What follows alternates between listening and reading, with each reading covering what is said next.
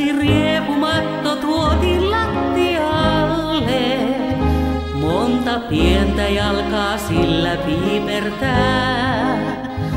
Monta kysymystä tehtiin kutojalle, äiti mistä saatiin raita tää ja tää.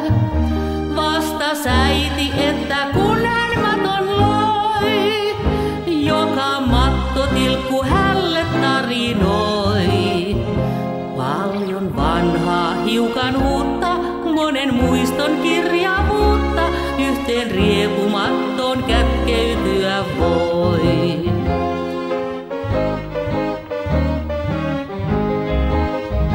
Tää on paita meidän ensimmäisen vauvan. Kuokuskulta repi viimein rikki sen. Tuossa kultaa kuva leikkipuvun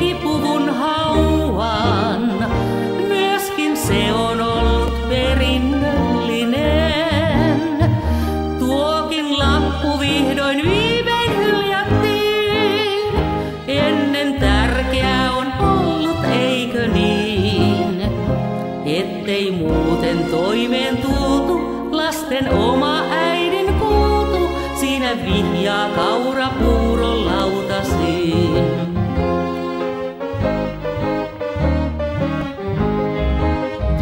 Meidän häistämme on kuva albumissa. Sulhon vihki frakki vihdoin viheriöi.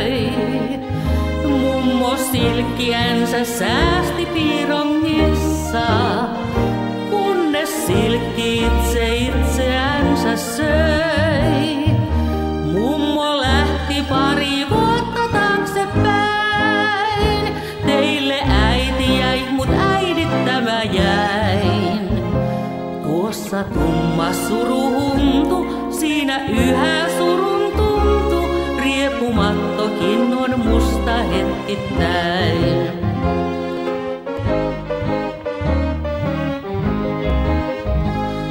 Tästä tällaisesta uusi riepumatto.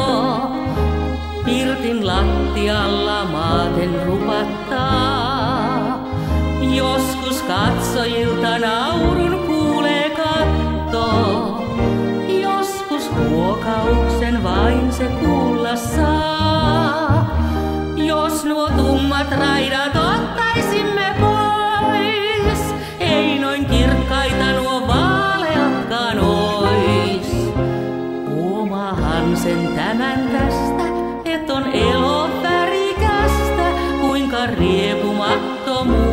con la